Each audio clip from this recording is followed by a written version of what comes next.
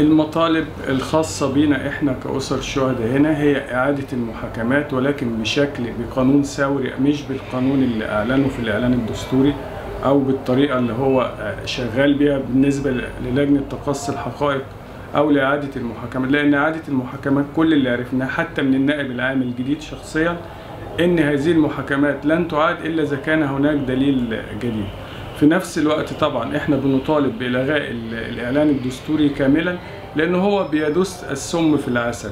كيف ان أن يعزل النائب العام ويعين نائب جديد ويتكلم عن إعادة محاكمات ويتكلم عن معاشات لأسر الشهداء. هو لم يأتي بجديد. أسر الشهداء بيصرفوا معاشات من شهر 4 2011 المصابين بيصرفوا معاشات من شهر 9 2011 إذا هو لم يأتي بجديد هو بيضحك على الرأي العام بهذا الكلام.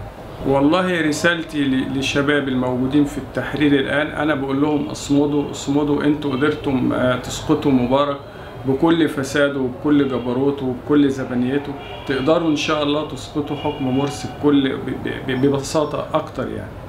إحنا نازلين يوم الثلاث إن شاء الله علشان نقول لمرسي والجماعة الإخوان المسلمين إحنا لازلنا موجودين وإحنا مصرين وهنظل نناضل هذا النظام. إحنا ما بيعنيناش النظام مين مين اللي موجود فيه سواء كان مرسي أو غيره. إحنا يهمنا إن نظام يأتي نظام عادل يأتي نظام حق يأتي نظام يعمل على مطالب وأهداف الثورة.